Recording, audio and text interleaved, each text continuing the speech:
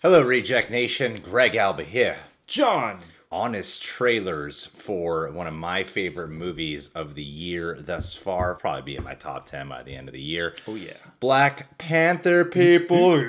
Yes. I'm excited to see what they say. I'm excited to see what they have to say. Before we do that, patron of the day shout out for Diego Shaidez. This good looking SOB is uh, graduating high school. He might have already graduated at this point, actually. I forget how high school years work. Anyway, Diego, I hope you go off to a good college. I hear it's not a waste of money or time. I hear everyone who gets a degree lands a really good job, so you have a great career ahead of you.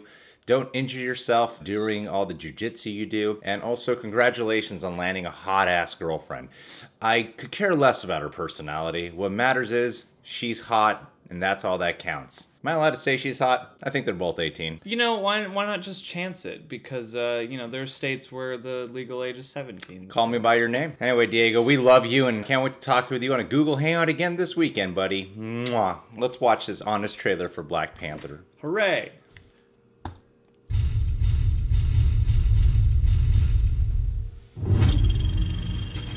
John Bailey. Uh, How you doing, John? I know you're watching. After 17 movies, the MCU finally went black, putting out a Black Crude, black cast superhero movie that's one of the best ever released, leaving its haters with only one option watching every other MCU movie ever made Black Panther. Just when you thought Chadwick Boseman had called dibs on every black icon, he's suiting up as Black Panther, a superhero with the high-tech suit of Iron Man, the all-natural steroids of Captain America, and the invisible jet of Wonder Woman. But one thing sets him apart from all the other MCU heroes. Not because he's black, not because he's royalty. Nope, it's because this Marvel hero just won't quip. Hey, people are shooting at me. Let me put on my helmet. Enough. He froze. Ah.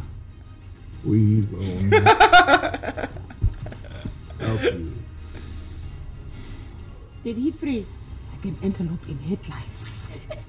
Are you finished? Well, his dad just died and he didn't even crack a joke? I thought you had to be a smartass to save the world. Hands off, bro! Journey to Wakanda, a combination of the Jetsons and a 1990s jet magazine. It's the source of all the world's vibranium, a material so powerful it tops Tony Stark's tech and Doctor Strange's magic as the BS that can do whatever the script needs it to do. yep. There's vibranium It's on cool the though. screen. There's vibranium all around us. So cool. That's how I healed you. This secret kingdom has been hidden for centuries, thanks to an ironclad policy of asking people not to say anything. You will speak nothing of this day.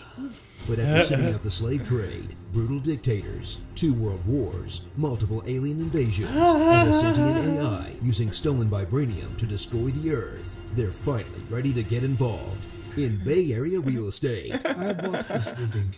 And that building. And that one over there. Kitten steps, you guys. After taking 18 movies to get six quality villains, Cry takes just three movies to cut it back to two, maybe one. But for one shining moment, we had Klaue, Andy Serkis's joyous portrayal of a guy who doesn't have to wear a mocap suit, and Killmonger, Michael B. My Jordan's favorite. Michael Jordan of Marvel villains. Hey, Auntie. He's the buffest Michael B. dude to ever Michael graduate Jordan. from MIT, who's ribbed for your pleasure, and who actually wins the moral argument and changes the hero's mind. Where was Wakanda? To turn your backs on the rest of the world! So wait, Killmonger was right? I am not used to this much nuance in my Marvel villains. I'm joking on lady, so I know who to root for. oh, there he is. While the boys are at play, it's the women of Black Panther who Yeah. do all the work. Like Okoye, literal snatcher of wigs. Ha ha Shuri, expert in weaponized memes. What are those? Angela Bassett as herself, and Nakia, who after all the debate between T'Challa and Killmonger, was making the same case all along and never got the credit for it. Wakanda is strong enough to help others and protect ourselves at the same time. Also, she saved the royal family. Also, she saved the future of the Black Panther. Wow, I am not used to this much agency in my Marvel love interest. Never get this I know who the heroes are. So So enjoy this movie with great acting, must right these wrongs. a great story, great themes, and great cultural significance that almost let you forget the underdeveloped love stories, Would you kill me, my love? the terrible deleted CGI, scene was good. or the big forgettable third act brouhaha. I like that third act. In other words, it's a Marvel movie.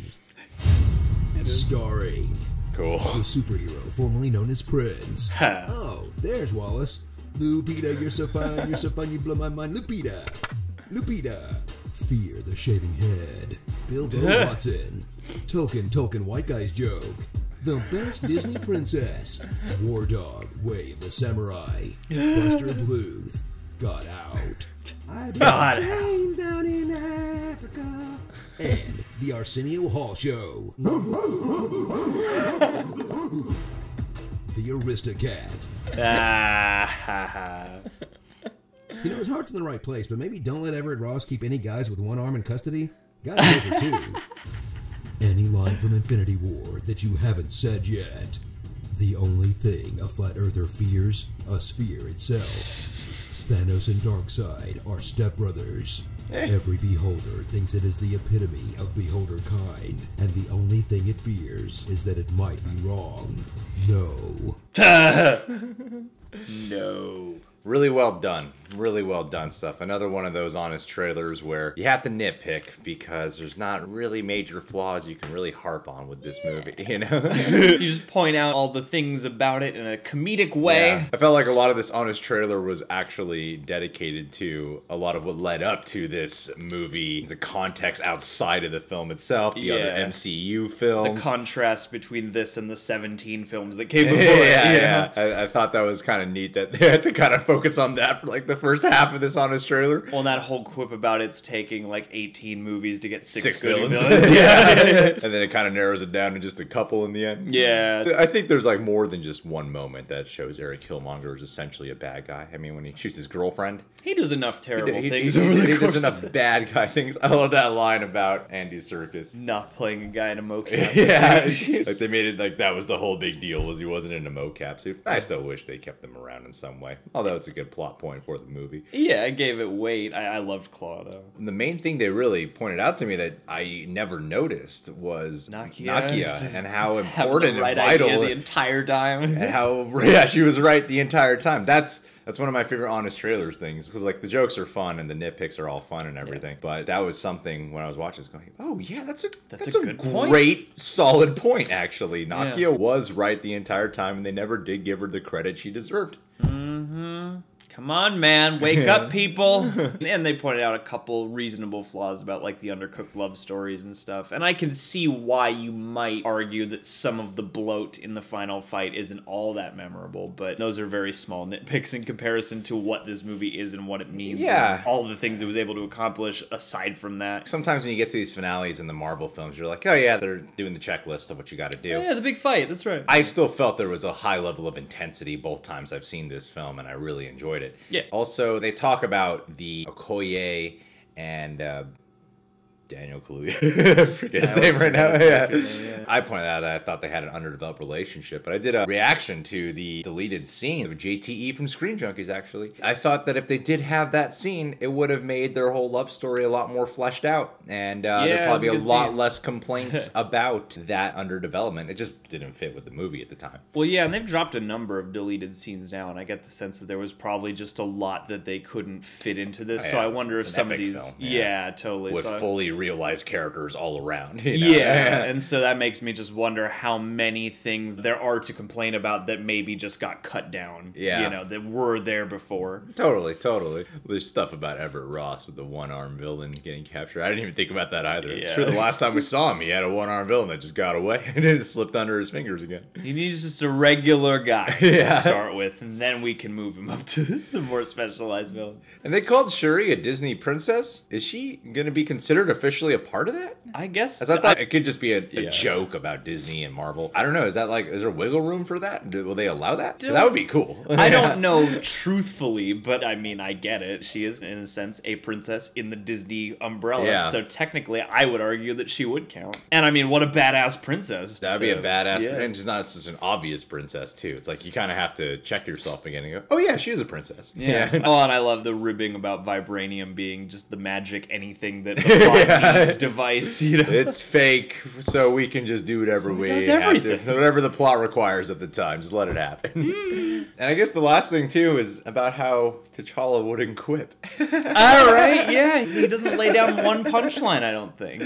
I never quite noticed myself actually. You know, sh- showing restraint. That's a kingly Yeah. way to be. He's Regal more way. the more serious character. Yeah, he's very kingly and regal, and Yeah. uh, he's not just gonna lay down a punchline. There's moments of humor that he has. There are definitely Yeah. parts where he makes you laugh, but he doesn't have the, the quippy dialogue like all the other Marvel heroes. It might have been a specific choice too to help him stand out just a little bit more. Yeah. to not quip. I think that would lead to a certain amount of monotony after a while if just every character's got the jokes. Yeah. Because, you know, when they all get together, you also need to have foils. You can't just have everybody be the cocky, you know, Han right. Solo type. Well, that was fun. That was a fun, honest trailer. Thank you guys for doing this, man.